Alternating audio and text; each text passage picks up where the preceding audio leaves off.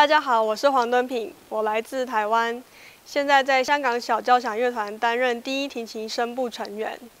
香港小交响乐团是一个热情、充满活力的乐团，曾受邀至美国、日本及欧洲的多个国家演出。很高兴这次能在音乐总监叶永诗指挥的带领下，来到自己的故乡台湾演出。希望大家要聆听。港台交流国际级演出的观众朋友们，千万不要错过十一月十九号在台北中山堂及二十号在高雄大东文化艺术中心的演出哦，等你们。